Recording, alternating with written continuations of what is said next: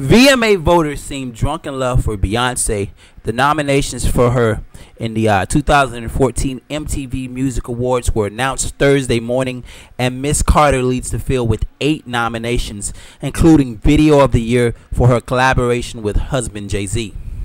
Rapper Eminem was close behind, notching seven nominations, as did, as did newcomer Iggy Azalea, who will be vying against Beyonce for Video of the Year with the trash ass song Fancy. They called it a hit. I'm gonna call it trash.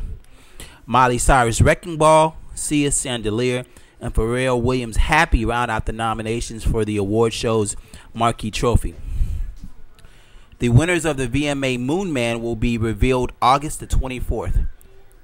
Now, um, you guys know I, have had criticism of uh, Beyonce as well as a lot of, especially Miley Cyrus, with the over sexualized music that they put out and um, not really focusing on their talent, but focusing more on their assets to be very nice. Anyway, uh, congratulations to Beyonce. Um, congratulations to Eminem, Iggy Azalea, Sia, Pharrell Williams, and all the other artists that were nominated. Uh, Usher, um, Ariana Grande, and um, going to be the performers. I can't wait to see this show. Anyway, drop your comments below.